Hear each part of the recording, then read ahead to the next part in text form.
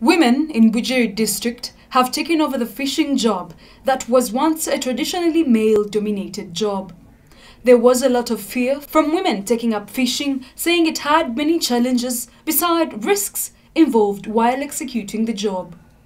At Waka Waka landing site in Bujiri district, a group of 1400 women under their umbrella organization Women Economic Empowerment Bujiri are currently involved in a cage fish farming along the shores of Lake Victoria. This has been possible because of a 2.2 billion shillings donation from the UN Women. Growth and the performance of the fish. So they are working under experts um, that train them on a daily basis. And with time, we know that the women are picking the skill. This is what we call skilling on the farm. The women said previously they feared venturing into fish farming but decided to take part in it with the hope of raising their household incomes, a move that they have lived never to regret.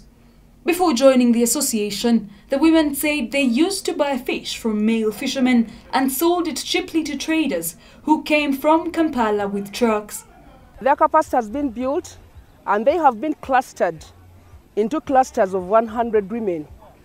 And each cluster has got players at each level of the value chain.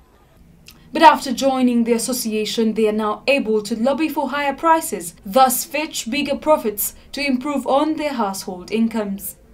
The district fisheries officer, Immaculate Were, said their association intends to tap the international market by exporting fish to foreign countries starting next year where they said cases of domestic violence in homes have drastically reduced since women are able to contribute to the family's needs without demanding for money.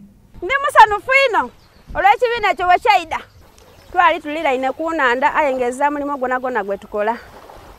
Abantu bavuba aye nga ife tituganulwamu kuba tuba tuzira ki kyetukolamu mbuti polojekiti eno bwe yaida eya un twatandika okuganulwamu ndi kusuubira okufunamu ebirungi bingi mu maiso eyo.